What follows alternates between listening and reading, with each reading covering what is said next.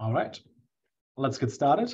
Uh, welcome to our last uh, CMFI MassSpec uh, seminar in this semester before the spring break. Um, it's my, my great pleasure to have uh, Mak Saito today giving the lecture. He's an expert in uh, metaproteomics. So obviously that's gonna be uh, then also today's topic to give you a, very brief uh, introduction about uh, uh, So he uh, did um, his bachelor in biology and environmental studies, was a minor in chemistry at the Oberlin College, and then uh, uh, did a PhD at the MIT Woods Hole Joint Program in Chemical Oceanography. Uh, and then after um, a postdoc at, at Princeton, he uh, went back to, to Woods Hole, where he's um, yeah, senior scientist now with, with tenure. And yeah, I think he has done some quite uh, uh, fundamental work in the in the field of like uh, metaproteomics, particularly in, in, in ocean systems. And yeah, I think that's going to be uh, the topic of today's lecture, and I'm very much looking forward to it. So, floor is yours. Great, thank you so much, Daniel, and it's really a pleasure to be here. Um, giving this lecture. So yeah, as, as you heard, I'm, I'm primarily an ocean scientist, but we do a lot of analytical chemistry. We're kind of a combination analytical chemistry microbiology group. And so we really enjoy pushing the limits of what mass spectrometry and proteomics can do. Um, and uh, there's some unique aspects that that we have to pay attention to because um, uh, our samples are uh, more are very complex, and so I'll touch on that today. I looked over your syllabus. Looks like you had a lot of great um, um, build up to this point in proteomics and mass spectrometry. Um, so hopefully, I'll, I'll do a very brief amount of re review, but also um, sort of then dive into what's unique about ocean metaproteomics. Uh, and also touch briefly on metalloproteomics, which is sort of a, a new area we've been working on uh, extensively as well. But just for background, as you know, um, proteins are a major component of, of organisms. They're roughly 50% of cellular biomass, and they have really uh, some really fundamental roles in organisms. They can be enzymes that undertake uh, are key in metabolism, and and through that, they're important in biogeochemistry and biogeochemical cycling. And that's why uh, we're interested in, in the environment as well. Um, they have important structural roles such as carboxysomes and capsids, and they're involved in regulatory systems and transport of ions and substrates. Um, and so so being able to measure them directly is really powerful um, in terms of understanding the function of organisms in the environment. And um, it's important to also distinguish them from um, um DNA and RNA. You know, microbial ecology, which is is a really key field in environmental sciences, um, has really focused on these other molecules. Um, but proteins are really different. I mean, DNA and RNA are really information molecules, and they're not directly involved in reactions. But nevertheless, proteins are still a polymer. Um, so um, that actually makes them really amenable to automated informatic techniques and high throughput analyses.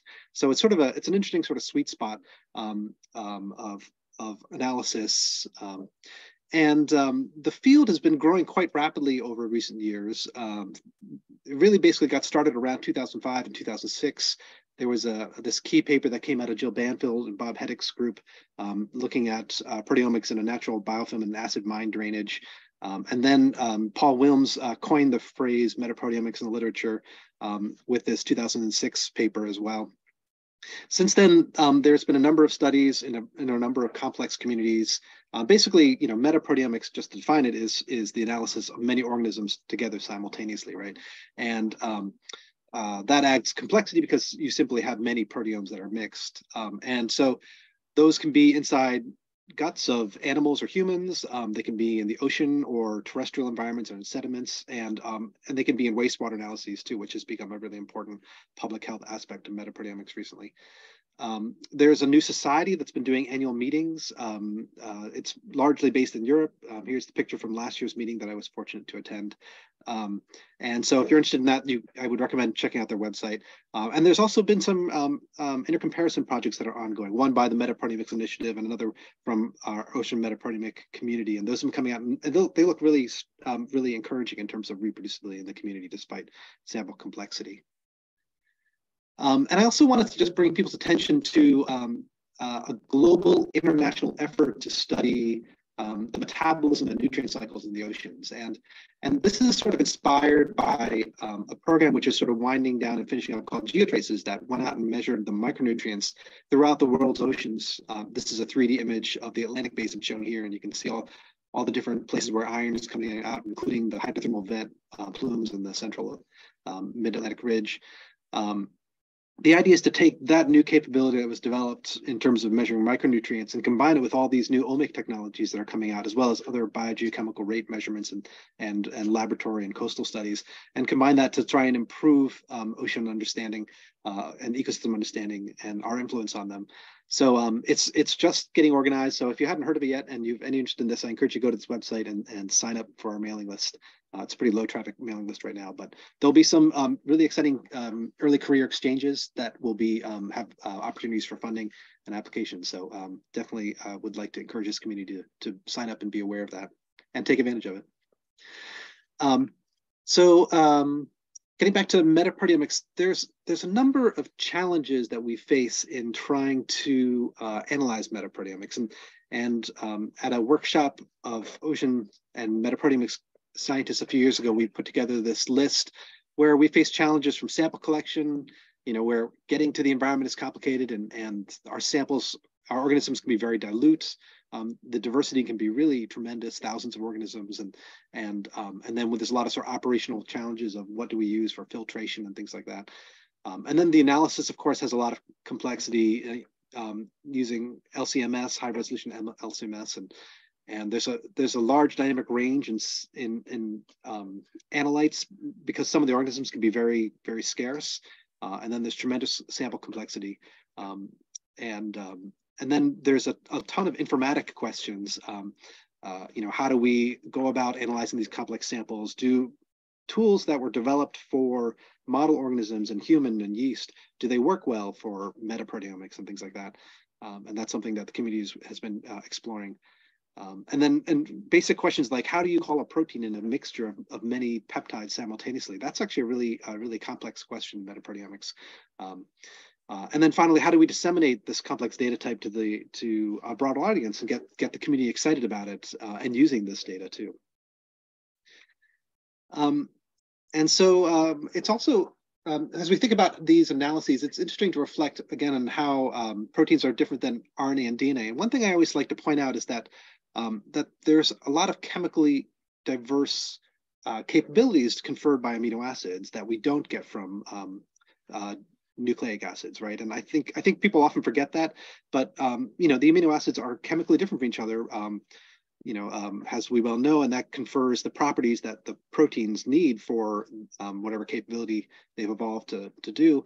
But that allows us to actually separate them chromatographically. And that's something that, that is not really possible with DNA and RNA with the four base pairs. They're actually very chemically similar um, and they're non-reactive on purpose um, so that because they're information molecules. But because because these have chemistry, we can actually use a lot of chromatography. And, and so that's a fundamental difference in how um, we approach separation of these molecules, where uh, a lot of shotgun genomics and transcriptomics is just brute force sampling um, because because you can't really separate the samples much more than shearing the DNA.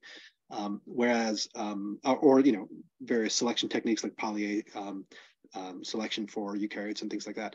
Whereas for proteomics, we can do a lot of um, chromatography. and and also the proteins are also important in biogeochemical cycles because they often contains a lot of metals. And this is something that I think um, uh, is really kind of amazing when you get your head around it. Um, there are some estimates that a third of all enzymes require metal for functionality.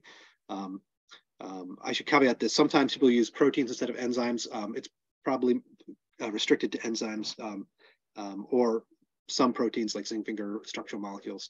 But you know that's largely based on genomic analyses trying to get functional analysis of, of binding sites of metals but it, it, whatever the number is it's clear that there's a, a very large number of uh, proteins that require metal um, the nitrogen cycle every single enzyme in the nitrogen cycle requires uh, a metal uh, functioning many um, key reactions in photosynthesis also require metals. So, so this there's this um, connection between inorganic chemistry and organic chemistry that's that's really important to bridge. Um, and metalloproteomics and um, metals are, are and proteins are really right at the center of all that, which is really exciting.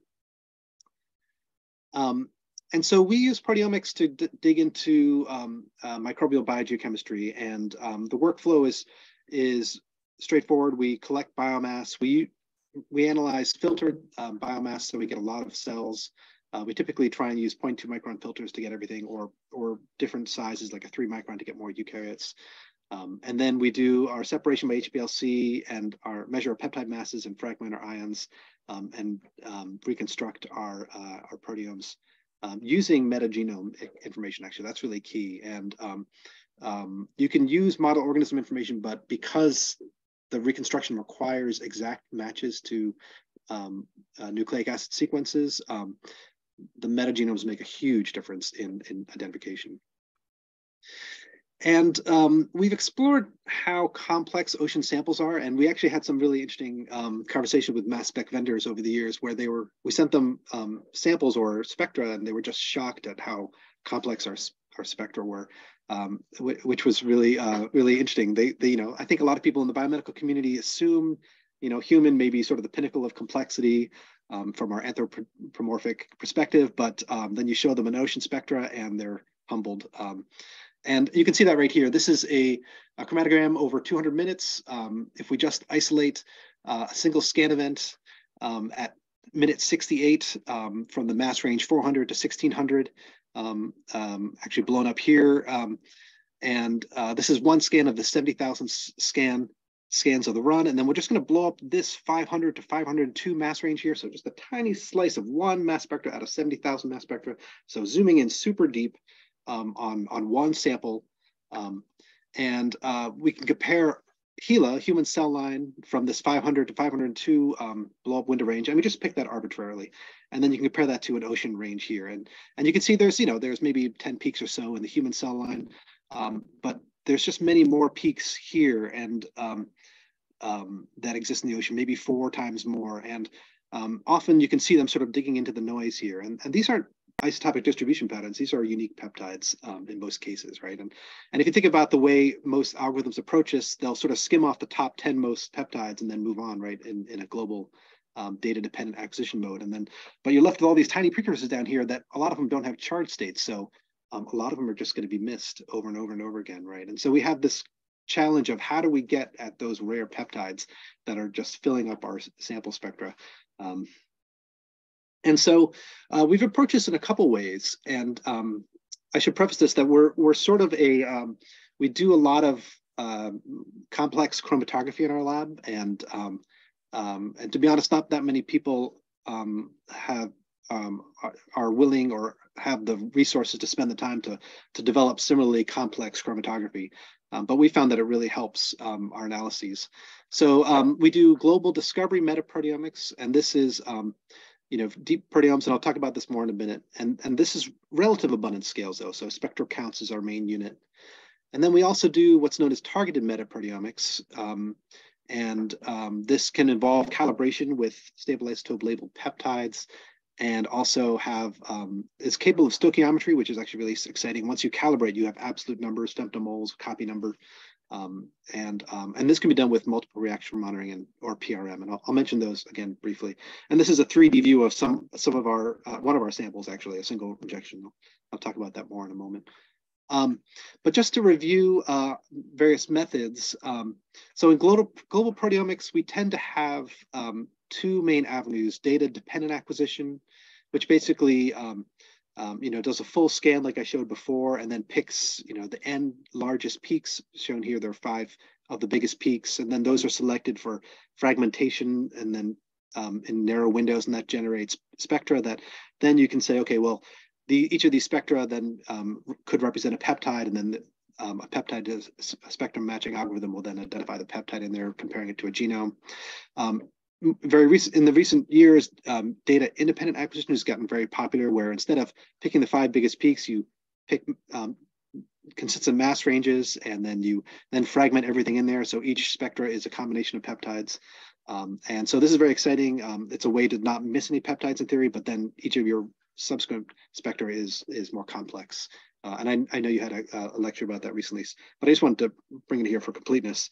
So targeted proteomics um, then can take a different angle where um, originally this were done on triple quadrupoles or quadrupole instruments where you had single reaction monitoring, in this case, SRM or multiple reaction monitoring, where the first quadrupole only lets one ion through and then, and then um, um adds a collision energy and then um, selects three masses for fragment ions and then quanti quants each of those three, right? So a very streamlined workflow where you've got a list of targets and a list of um, of um, ions that result from um, fragmentation, and then the machine is just scanning those over and over again very rapidly. Um, in recent years, Orbitraps have gotten into the, the absolute quant game by parallel reaction monitoring, where the first two aspects are the same, but then um, you can scan the whole mass range um, in the Orbitrap for the for the fragment ions, and um, and then you can quant them there. And so this is a really exciting sort of hybrid approach between um, you know, um, sort of uh, um, combining uh, the Orbitrap with now the targeted methods um, and still can achieve a lot of sensitivity. And then of course, in theory, DIA can start moving into the targeted and, and absolute quant realm too, if you add um, calibration standards, right? Um, um, basically, and that's sort of the exciting part about DIA, could it eventually sort of bridge the gaps between global and targeted proteomics? And in theory, we could start quanting many, many things, if not everything. Uh, the challenge then really becomes calibration and I should, and also speed. Really, instrument speed is the key for decreasing these isolation windows. Which um, I won't talk about that today, but we've been exploring DIA for metaproteomics, and and and um, that's really one of the key parameters. Um, um and we're hoping for faster instruments all the time um, to help us with our complex samples. So, um, in terms of 2D approaches, we have developed a, uh, a method that is capable of um, spreading out the sample over eight hours, but maintaining really narrow peak widths. And so that's really important because you know some of those small peaks that we want, if we spread out the peaks by just running an eight hour gradient, they'll get too small and we won't be able to get enough ions into the mass spec to, to measure them. And so we have a fully automated nanoflow uh, two-dimensional um, active modulation reverse phase liquid chromatography setup that basically is shown here, um, uh, where we have uh, one dimension with this black line here, and then a second dimension that's basically like 14 um, shorter runs that's taking the elution from the first dimension, right? And it's got, it does that through using traps and switching valves. Um, and it's basically switching between high pH and low pH um, on a C18 gradient. And um, the net effect is in 1D, you can see this axis is basically your peak width, right? And so, and then the vertical axis is your peak intensity. And so um, in 1D, you're getting wider peak widths at lower intensity, right? But by in this 2D mode, you're getting nice tight peak widths, you know, roughly, you know, 10 second peak widths, but you're, and you're maintaining the signal intensity. So you get that packet of ions into the machine and you get the chance to fragment it and you get really nice um, uh, fragmentation spectra here. This is sort of a PRM mode shown over here of three fragment ions from a peptide. And so this makes a big difference, uh, it turns out. So um, here's HeLa, human cell line, shown here in, in 1D and, and 2D. If we do uh, 1D over eight hours, just spreading out the human cell sample over eight hours, and then this active modulation 2D approach, basically you don't get a lot of difference, right? We're sort of maxing out the complexity of human sample um, in our 1D run. You get a little bit of improvement. But in our ocean samples, because we have so many of those small peaks, we're getting a huge increase, like almost a 50% increase in some of these samples of protein IDs, right? And so, so for us, we've we've moved to this as being sort of our dominant um, uh, global discovery method. And uh, since it's fully automated, we can just load up the machine and it's running on eight-hour runs, three samples a day, and churning through samples. Um, kind of an expensive way to run um, if everything has to be an eight-hour run, but but um, given the limitations of instrument speed at this point, it's we found it's currently our, our best, our sort of our gold standard of, of proteome depth, uh, metaproteome depth. And so we've applied this to ocean samples. Here's an example um, from uh, Jackie Saunders' uh, PhD, I'm sorry, postdoc work when she was here. She's now um, a professor at the University of Georgia. And um, this is a, a, cruise we had um, from Hawaii to uh, Tahiti in the Central Pacific Ocean um, covering 5,000 kilometers um, of distance, going down 1,000 1,000 meters into the ocean, so a kilometer into the ocean roughly, uh, about 100 um, metaproteomic samples, so um, large volume filtration, probably about you know um, 200 to 300 liters per sample, and we use a quarter of those um, for our analysis. And it's this this is the the bacterial and archaeal fraction largely shown here, and the the environments were um, organized by different depths, basically a surface, cline, deep, and twilight, twilight and deep depths um, by k-means clustering to generate this across. And you can see they, they changed um, as you moved across the, the environment with depth um, based, based on light penetration and, and ecosystem um, parameters. And so we measured total protein in all these and Um, the total protein drops really quickly as you go into the deep ocean because there's light in the upper ocean, so you have a lot of photosynthetic organisms. Um, uh, but you still have some biomass down deep there.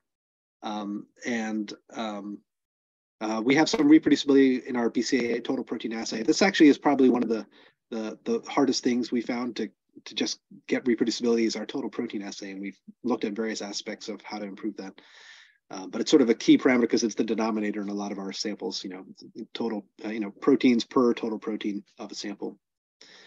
Um, and um, when you do this kind of analysis, you can then look at the different kinds of enzymes present and the different functional groups. And so these are the KEGG ontology groups, and there's roughly about 2,000 um, enzyme functions um, in this data set.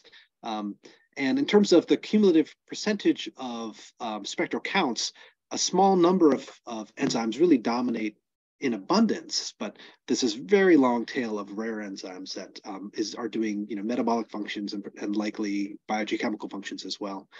And then you can look at them in terms of their enzyme commission classes, and you can see that they, they um, that you see differences with depth, whereas in the surface you see sort of a more even distribution, in particular with more transferases. And then as you go down into the deep water column, these oxidoreductases become really important, and and that's really a transition from the surface where we have growth and reproduction um, to down deep where we have um, obtaining energy with oxidoreductases because these are chemolithotrophic organisms that are doing uh, redox reactions to, to live off of.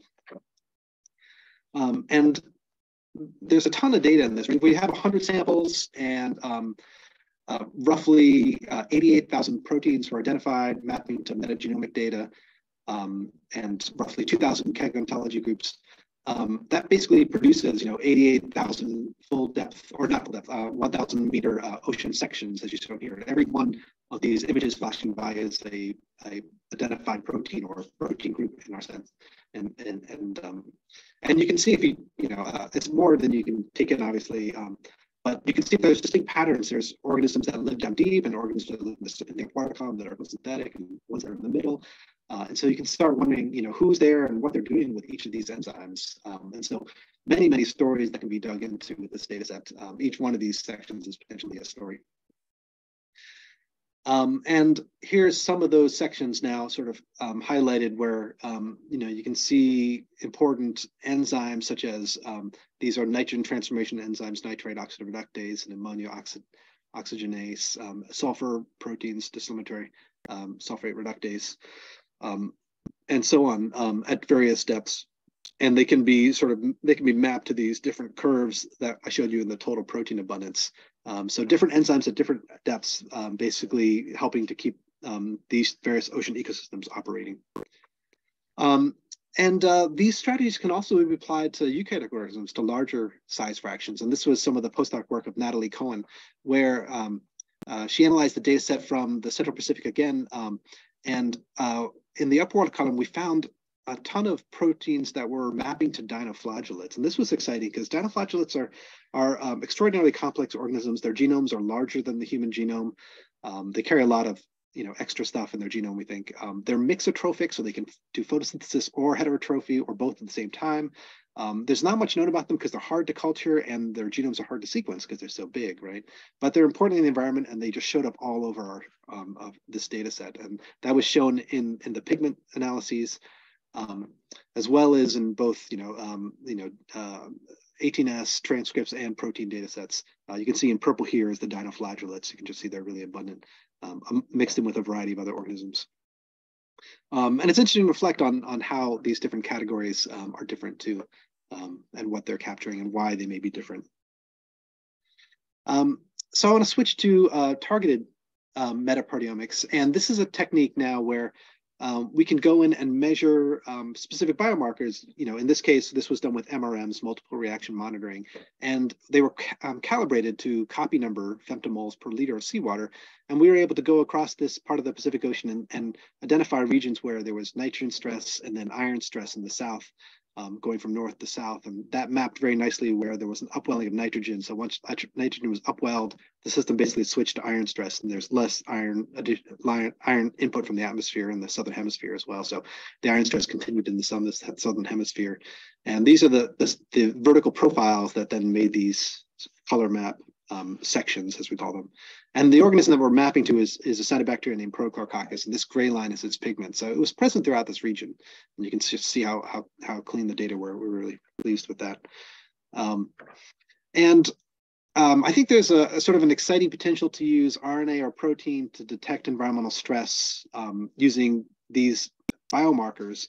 Um, and there's a number of proteins or, or, transcripts that have been identified that then um, are known to turn up significantly when iron, nitrogen, phosphorus, vitamin B12, or zinc or cobalt um, becomes scarce. And so, you know, can we make a suite of targeted molecules that we measure uh, and then really diagnose um, what the major taxa, uh, in this case, photosynthetic organisms are feeling in the oceans. Um, and it's it's this is actually exactly analogous to cancer biomarkers. Um, just we're applying it to ocean space using um, really the same technology. Um, and so um, here's an example of this where we saw one protein that was um, ridiculously abundant um, in the in the global data set. This is shown here. Um, this is the nitrite oxidoreductase enzyme, one of those um, oxidoreductases I mentioned earlier. This is unnormalized spectral counts, and you can just see it really dominates. it's in red and blue. these are various, you know, uh, uh, homologous sequences shown down deep. And in this ocean section version that you can see, it's just it just really dominates um, the spectral counts.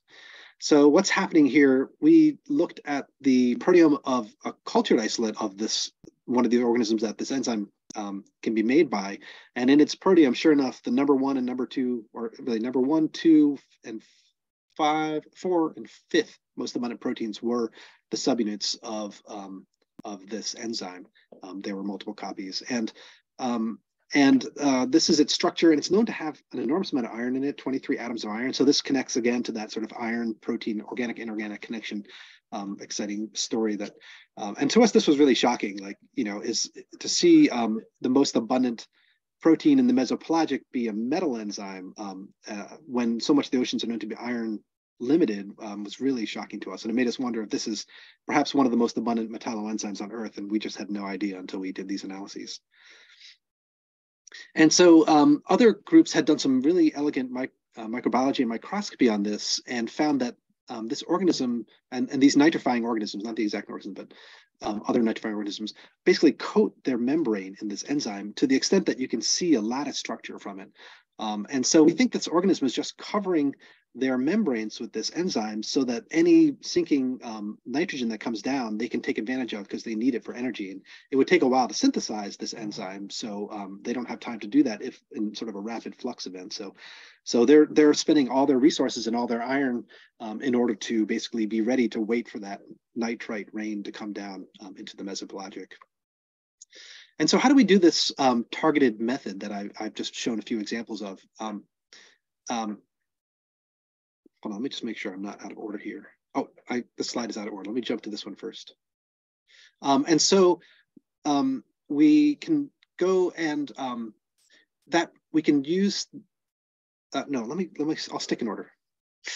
so so um, let me explain how this targeted method works. Um, basically, you want a stable isotope labeled peptide that you inject with your sample, and then you do a calibration against it, usually just a one point calibration um, um to get the abundance of your target peptide. Um, you can have them synthesized with N15. Uh, that turns out to be um, an effective way to do it, but it's also kind of costly. Um, and we were making a tremendous number of these peptides, and so we realized that that wasn't su really sustainable from our, you know, on, on government grants. Um, so we shifted to making them ourselves, and we use a method that's known as QconCAT, where we basically um, insert peptides into DNA with spacer sequences, uh, make a plasmid, um, and then ligate that into an overexpression plasmid, and then add um, um, um, give that to E. coli to overexpress, and then harvest the um, the fusion protein, digest it with, with, with trypsin, and then we generate our peptides. We also include um, um, a sequence in there that allows us to calibrate them. In, in this case, you know, um, a commercial standard of peptides that we added to our sequence synthesis list. And then because we feed these E. coli N15, all of these peptides are fully loaded with N15, uh, and we can get some really nice reproducibility um, this is just batch to batch reproducibility with a slope that's uh, close to one and R squared that's high, and then uh, very good sensitivity on, on, an individual peptide. So we're able to make them ourselves it's actually um, relatively inexpensive to do. And then you've once you have the plasmid, you have the standards forever. You just have to overexpress them again and make them. It takes a little while to, to validate them, but it's a nice approach. And uh, here's an example of what you see then. Here's um, a peptide that's been measured um, um, and the, the, the, natural version and the N15 labeled version. Um, and you can see the masses are just a little bit off because of those N15s. And these are the different fragment ions. Um, I'm sorry, these are the isotopes um, in this case. And then the fragment ions down here that associate with this. And, and, these are the B and the Y ions associated as you go from each end and take off amino acids. Um, so it's it, it's a really clean um, technique. Targeted approaches, in this case PRMs, um, work really beautifully. And um, here's another example of that where um, just a bunch of peptides we used. Um, here's our supplementary table for, I don't get to show this very often, but since this is more of a technical group, I'm happy to do that. Just wanted to highlight that, you know, you have some relative standard deviations in the single digit percents uh, in most cases. So we get some really nice reproducibility for these peptides. Um, so you can then use this information. And one of the things that people often say about omics is you can't get rates from omics. And um, I'd like to put forward that that's not necessarily true. Uh, if you think about the definition uh, um, of specific activity from a biochemistry class, it's basically you know units of activity per microgram of protein. Um, Michaelis-Menten kinetics are, are, very similar. If you have the kinetic parameters, you can predict the reaction rate. Uh, that's a more nuanced way to do it because it takes into account the substrate concentration, whereas specific activity assumes the substrate is saturating.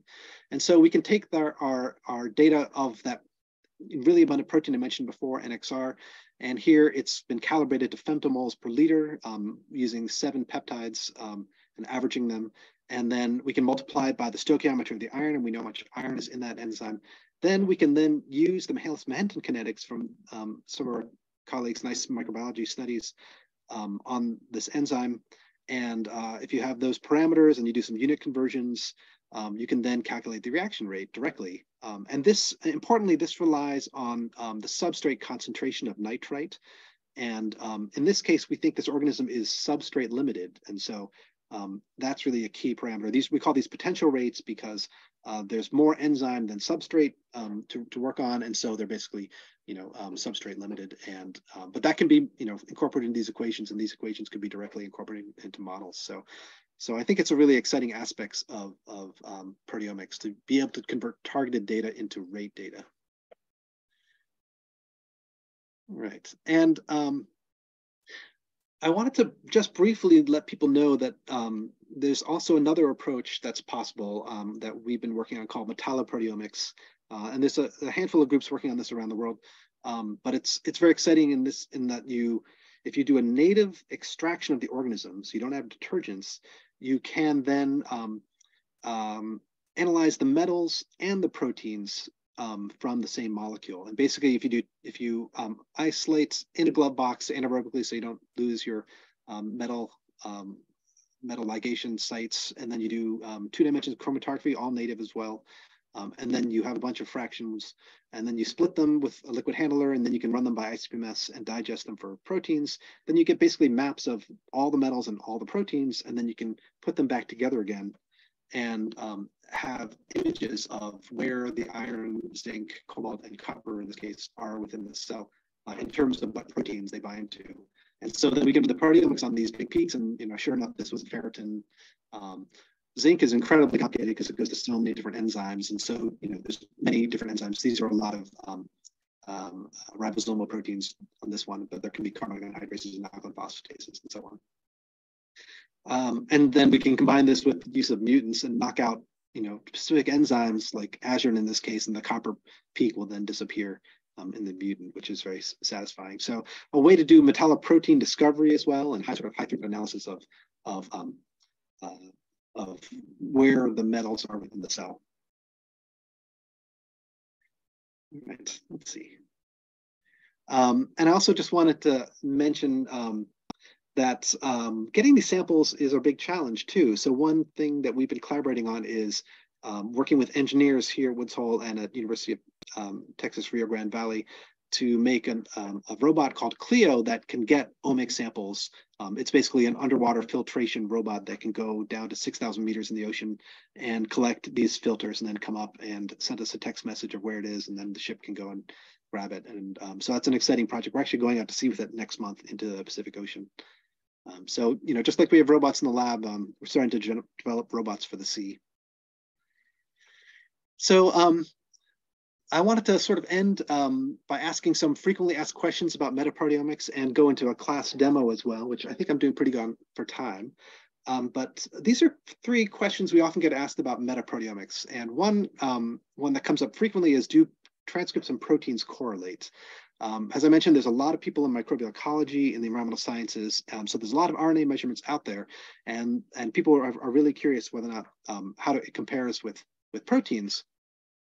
And uh, in biomedical uh, communities, um, they've often found that correlations are frequently missing, right? And there's many um, many instances of this, and and and people talk about it, and and they've offered explanations such as epigenetics and PTMs um, as why you know RNA proteins may not correlate well.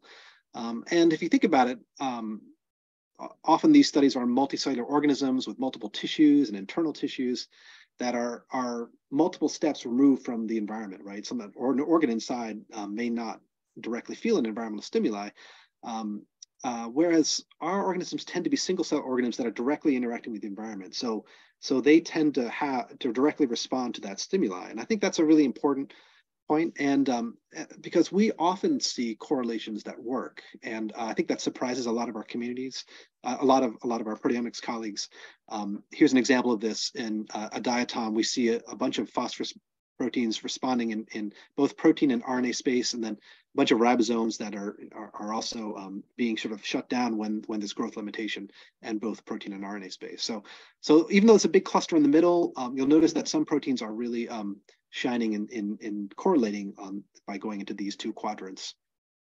Um, so uh, why is that? And um, um, it turns out RNA and protein degradation are really key parts of this story. And I put up these pretty molecules of a ribonuclease with an inhibitor and, and a protease with also with an inhibitor. Um, um, and, and of course, um, the lifetime of each of these molecules um, serves different purposes, right? In, in RNA, they're trying to degrade rapidly because they don't want the information to stick around if it's outdated information. So, so RNases are fast and ubiquitous within the cell, whereas proteases, they don't really want to destroy an enzyme unless it's broken or its function is out of use or they need to recycle the amino acids or something. So um, proteases are, are not as ubiquitous and can be more targeted, right? Um, and so we wrote a simple, oops, sorry, um, a simple uh, box model for um, for RNA and protein uh, within a cell where there's some environmental signal and production of RNA and degradation of RNA, which is fast, production of protein and degradation of protein, which is slow. Um, and then wrote some very simple equations and I, I um, wrote that up in MATLAB. And, um, and you actually see um, point in time where RNA and protein correlate. Um, and so if you look at this part down here, you can see this dotted line is the one-to-one -one axis. And so if you wait um, long enough for the protein to be made, but before the RNA is decayed, um, it will intersect with that axis, right? And so, you know, you wait 12 hours or a day, um, you you probably catch the signal of RNA and protein both being made at the same time. Um, however, um, this assumes a very low initial basal signal, so basically going from almost no signal to a major protein. Um, and so if you have a stress response like an alkaline phosphatase enzyme or a transporter you need to make when the nutrient is scarce, um, you, you have a huge upgrade. Um, in contrast, uh, a lot of metabolic proteins may have some residual um, uh, transcriptional level and inventory of protein, right? So in this case, we've assumed a 20% sort of basal always on signal. And what happens there is you, you basically get a cluster of data around the origin because uh, we often represent omic data in fold change space. And so if you if you have an inventory of protein already and you make you know 20% more, your fold change is actually quite small. And so even though you have the same exact pattern um, has on the left, it's just sort of shrunk into the axis, right? And and um, I think that's really what's happening in a lot of these data sets, right? Um, a lot of the environmental proteins start with a low basal signal and have large dynamic ranges in both protein and an RNA space. But then the metabolic protein, sort of the maintenance systems, they may be going up and down, but in fold change space, that distance is very small because they're all sort of cycling around the axis here. And, and if you have a, a 20% change in, in a, a, really abundant protein, it may be a huge investment of energy and resources, but it's only going to, you know, it's just going to move in this sort of cloud on the origin, right? So, um, so I think that's sort of a call to us to say, you know, um, it's the wrong expectation to expect RNA and DNA to uh, RNA and protein to correlate in fold change space, you know, for abundant proteins. Like it's it's they're going to be, you know, you're not going to see a twofold change in a major abundant protein. It's it's going to be sort of in that cloud of the axis. But for environmentally responsive proteins, you're going to see them, and and and and that's what we see, right? So anyway, that's sort of an answer to that question. Um, and if you want more detail, um, it's in the paper and the MATLAB model um, is up on my GitHub site too. So I'd love if someone wanted to play with it and do something different with it. Um, so uh, then I want to move to the second question. Um, I think a lot of people, especially biogeochemists um, or geochemists, are interested in some enzyme. Like, you know, where is the enzyme that transforms my organic molecule in the oceans, and who makes it, right? And and so um, we have this ocean protein portal and um, in a moment we'll share a link and we'll do an in-class demo. And that allows you to interrogate a lot of the data that people have generated by making these ocean sections and we'll, you'll all get a chance to do this in a moment. Um, and um, there's some papers here that refer to it. Um, and then another question that people ask is well you know, I know protein sequences uh, are not as specific as nucleic acid sequences because of, um, you know, um, codons that can you know, um, multiple codons that can map to a, an amino acid. Um, so, you know, how specific are they really, right? The sort of this question, and and the answer is actually um, surprisingly specific. Here's an example of every tryptic peptide. So, you know, for bottom-up proteomics, um, all, all, of our proteomics basically we digest with trypsin, so we have these smaller peptides. Um, if you look at every tryptic peptide in these 50 genomes and you compare how many of them are identical across genomes, and then you take the percent of peptides that are identical. You can see that on this map. And an organism compared to itself obviously is 100% identical. So that's the white line in the middle. But then, um, and so then within a strain, Prochlorococcus or a species, um, sort of strain level differences, you know, you can see, you know, 50% or more shared peptides, right? But between different species, uh, you're down in the sub 10% range. Um, pro and syn are basically cousins with each other. Um, and, and so in most cases, you know, you're sort of bottoming out um, in like single digit percent shared peptides between different species. Uh, and I think that surprises a lot of people. And if you go to something like E. coli, you're basically gonna get nothing, right? And that, this is the kind of approach we used for um, those targeted studies where we basically made a list of peptides that we were targeting and we used this program called Metatryp that you're all going to use in a moment and basically went through and said, okay, you know, these peptides map to Nitrospina, but not to Nitrospira and so on um, using um, this. And Metatryp is basically um, a program that, that runs um, runs uh, uh, has about 300 curated microbial genomes that have been tryptic digested in a database that you can then access in real time through this web portal. Um, and uh, we actually made an instance of it for COVID because we realized, you know, people are trying to design COVID um, targeted proteomic assays too, and, and wondering how unique they were. And so we compared, you know, coronavirus um, with the flu, for example, and there's no shared peptides um, as we would expect, but I think, you know, people may not realize. Um, so I think we're ready to start our demo. Um, let's see. How are we doing? Yes, looks like Daniel sent the tiny URL with the um, a worksheet. And yeah. so I also great. just pasted another URL because I think your uh, .org URL was broken. At least it didn't oh. work on my end. So I think, okay. but that, uh, I'll correct me if I'm wrong, but like that protein portal dot uh, edu, that one worked. Oh, okay. Did I get it wrong? Well, I don't know. At least I got an error when I tried okay. .org. I might have. I might have. Uh, anyway, thank you for fixing that. And so let's see. Did I stop sharing? I did. So I think the idea here is I've made a worksheet. Let me see if I can find the worksheet.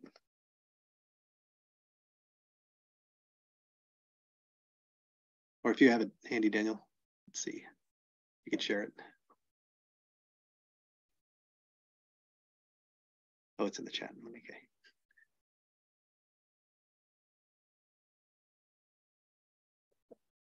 Great, here we go.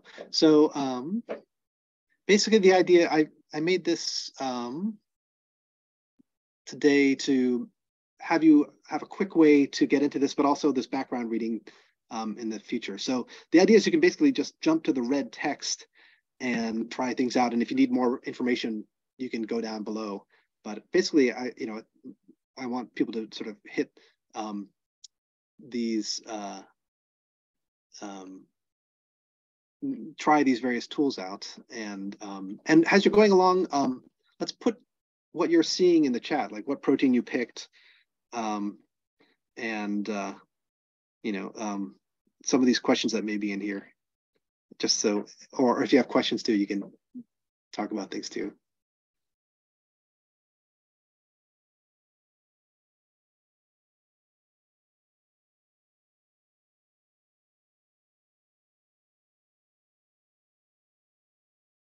Meg, can, can I ask you something? Maybe you yeah. can showcase that on the when you share the screen. So we are very interested in proteases. Um, oh yeah, in in Great. the open ocean. So like, I just typed in trypsin. Um, is there a way to like also get like some some sort of like abundance information? So is that a, an abundant protein? Yeah. So um, let's type in proteases or peptidase. Um, and so this column here, spectral count, is mm-hmm. basically um, the abundance of that protein. It's a summed quantity. So, and it's set up to give you the most abundant one first. And um, um, currently the search is using protein names. So it's text-based searches into the product name or the KEGG descriptions. Um, you can do a sequence-based search as well. Um, but that will look for, and you can paste in a sequence, but that currently maps to exact tryptic peptides within the environmental data. And so if you're using model organism data or, you know, E. coli or something, it probably won't map to many things.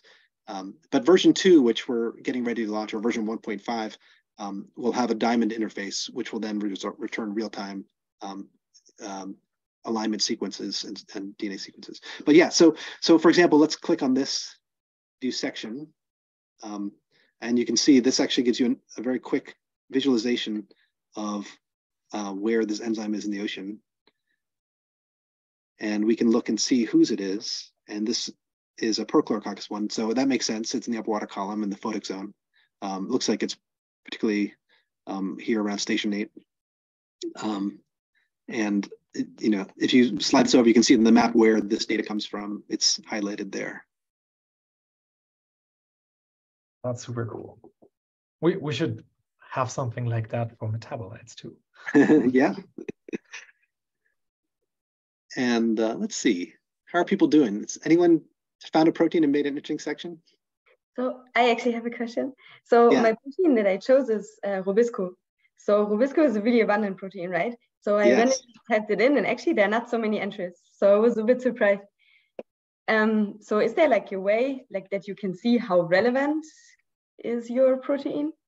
Yeah. So one of the reasons that that is happening is that, um, um, well, there's probably two reasons. One, the data sets that are in here are primarily sort of prokaryotic data sets. So it's, you can see this is hitting to lots of, um, there's lots of Prochlorococcus and, and some Rhamnothromycina.